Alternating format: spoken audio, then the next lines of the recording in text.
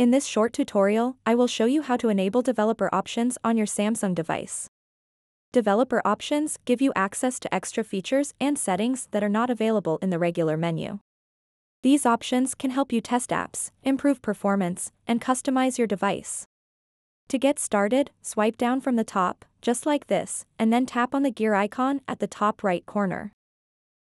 Once you're on the settings page, scroll all the way down until you reach About Phone.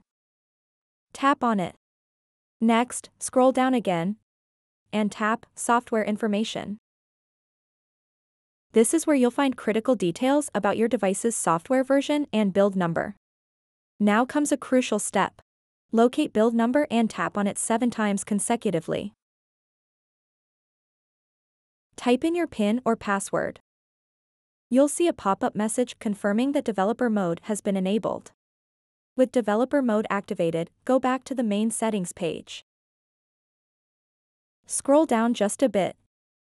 And you'll now see developer options listed among other settings. Tap on developer options, and here's where you'll discover a plethora of options that can enhance your user experience or assist in app development.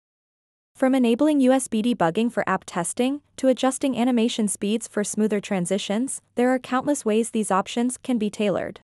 And there you have it. Enabling developer options on your Samsung device is quick and straightforward. Now you can access these powerful tools anytime you need them. So that wraps up this tutorial. If you have any questions about this whole process, please let me know in the comments section below.